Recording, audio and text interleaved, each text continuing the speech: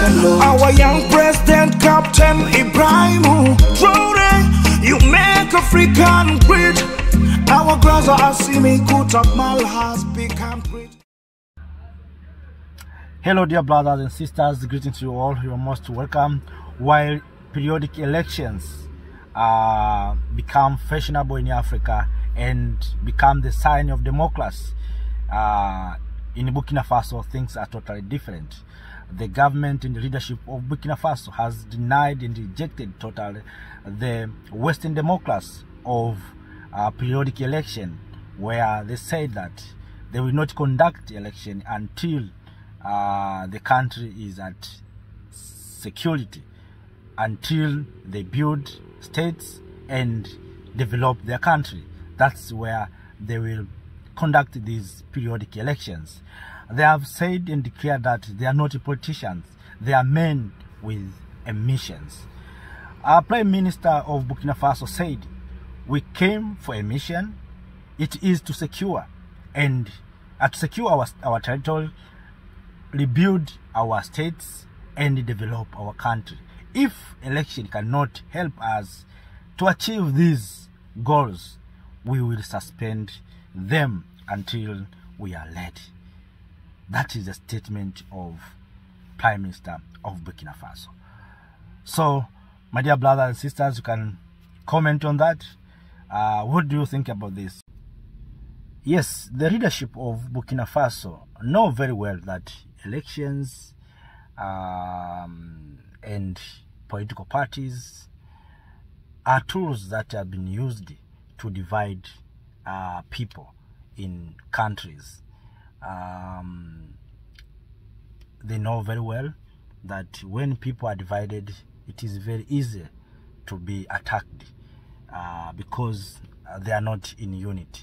And that's why they have decided to stop uh, these elections because we know all of us that during election campaigns, people are divided, violations uh, sometimes occurred in different parts of uh, the countries. So they have decided to keep the people uh, into unity uh, because if you allow them uh, to, at this time, to uh, to go into election, automatically people are going to be divided into different political parties, and sometimes people in government lose concentrations on what they are doing. So that's why you see uh, Burkina Faso's leadership have decided to keep aside uh, these uh, elections. you know very well that the mission of Captain Ibrahim Traore uh, government is to build infrastructures, to build industries, uh, to fight uh, terrorists. So it will be difficult uh, to lift those goals and to go to elections. We know election it costs a lot of um, money, so they have decided to keep this money into development uh, projects. So that's why you see uh, they have rejecting these uh, democratic elections, uh, periodic elections. That for them mean nothing because that is not the needs of uh, the people right now. The people of Burkina Faso right now needs um, development, needs security, needs food, uh, and you know uh, Captain Ibrahim Traore uh, stopped the export of uranium and gold. So there are some countries that are not happy with these decisions. So if you allow people to be divided into um, these political parties, it will be easy for those who don't want Captain Ibrahim Traore to sponsor uh, one of the candidates who they wish uh, to take over the country so that it can, when he came to power, he can uh, revoke these uh, decisions. So that's why you see they have decided right now to stop these uh, elections, democratic elections uh, or periodic elections that for them, as I said, it looks meaningless. Um, yes, uh, you know, if people are divided into these political parties, uh, it will be easier for enemies to use these political parties to sponsor groups within these uh, political parties to bring instability. And we have uh, vivid examples in some president countries where people are fighting while resources are going or taken away from the countries. We have seen the countries suffering, people suffering while their resources are taken away. So uh, to continue to bring people together uh, even though people some of them are not happy with these decisions because you cannot make all people happy. Uh, but majority if majority are happy it is well and good. Uh, you know captain ibrahim traore survived several coups against him. So you know very well those who want to remove him from power those external forces that are pushing pressure uh, to remove him uh, from power. So by postponing elections also uh, is for security reasons um, on his uh, leadership. Uh, but also uh, the Burkina Faso's government uh, is among of those three governments that withdraw from ECOWAS and came with the idea of forming the alliance of Sahel states. So uh, they want to complete this mission, then I think uh, the political president will come in. But first of all, uh, they're trying to make sure that the missions are complete.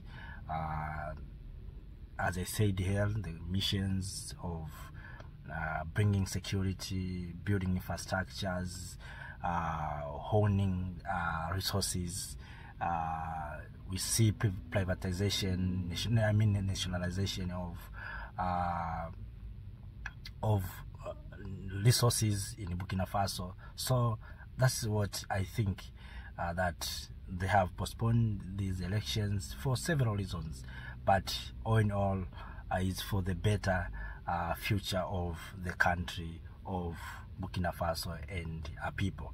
So, you know why um agree with uh, Captain Ibrahim Traore and the people of Burkina Faso for stopping this uh, election.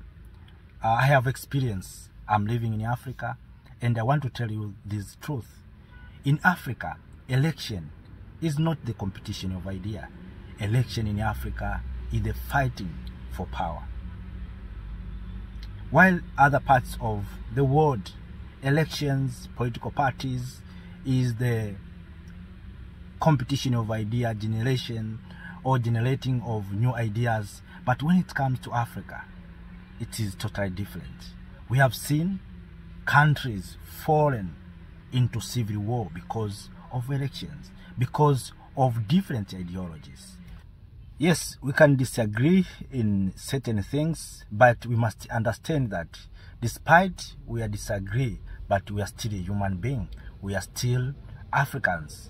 But those who bring this uh, ideology to us about election, about uh, uh, political parties, they know very well that we, the people of Africa, we are not much educated on this, so we will fight one another. And that is what's happening in many parts of our continent.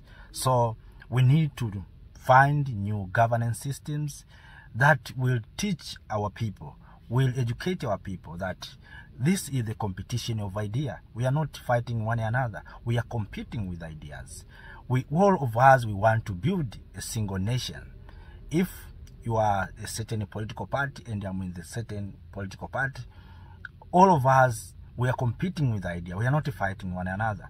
We are competing in order to convince citizens, to convince people, uh, to give us mandate to be, uh, to read so that we can build uh, our countries or our states in in different ways as you want to build. That's what uh, we must understand. And, uh, you know, my dear brothers and sisters, uh, that's why you see the continent of Africa So I think this is the right time for the people of Africa and African countries to redefine our governance system. The Western democracy has failed to bring changes, to bring development to our people. Poverty is still on the streets, in villages, people are still suffering. So I think we have to move away from this kind of governance. The people of Africa does not need new faces on state houses. What the people of Africa needs is good roads, quality education, good health care, electricity, food on the table, security, free movement. That is what the people of Africa needs. But Western democrats, what they are doing in Africa, in many places, is to bring new faces on offices. That is not enough for us. The continent with richest in terms of resources, yet we are still poor. Yet we are called poor. Yet we are still suffering. We don't have enough electricity. We have uranium. We have coal. We have uh, waterfalls in different parts of this continent. We have winds. We have waves. And we have no electricity. We don't need such kind of governance. We need to move away from that kind of governance. We need governance that will provide services, quality services, and good services to our people. That's what the people of Africa needs. You see how the Chinese are doing. Chinese are doing well. They have decided to take their own path. Wherever you call it dictatorship, wherever you call it democracy, but they have decided to move in their own ways. They're not following this what we call democratic elections. That does not bring much to, to their people. That's why today all of us we are using Chinese products. They know how to add value. So we need the governments, the system that will encourage African people to utilize, to add value to our resources, to create job opportunities for our young men and women, to our graduates, to conduct researches in different parts of this continent. That is what the people of Africa needs. During my lifetime, I have seen countries fallen into civil war because of these elections. People lost property, people lost lives. It's because sometimes these democratic elections are sponsored by others and sometimes is put on place to bring conflict because they know that through this is a way to divide people. So that was my opinion. So my dear brothers and sisters, uh, I will not talk for too long, but that is what I think. And it is better, as, as I said, that for Africa uh, to move forward, we need to redefine our, our governance systems that will bring development to our people, uh, that will bring us out of poverty, that will help us to benefit from our resources. Thank you.